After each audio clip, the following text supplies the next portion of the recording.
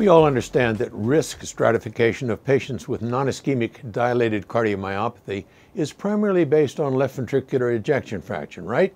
Well, despite our beliefs, maybe LVEF is not the best indicator and superior prognostic factors are always welcome.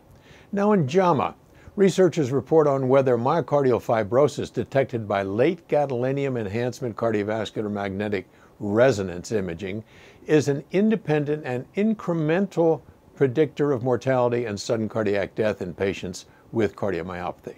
They prospectively studied 472 patients with dilated cardiomyopathy and looked at all cause mortality as well as a bunch of secondary endpoints.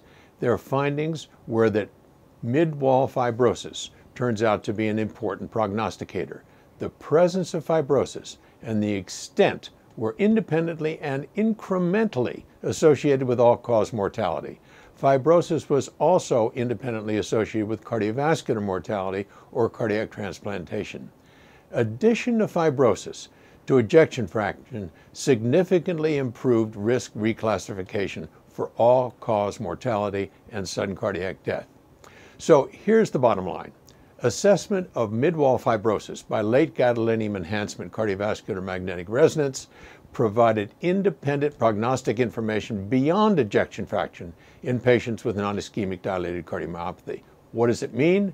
First of all, it adds to our use of ejection fraction only, but of course the role of cardiac magnetic resonance imaging in the risk stratification of dilated cardiomyopathy still needs further investigation. I'm Peter Block, and this is a CardioSource Heart Minute.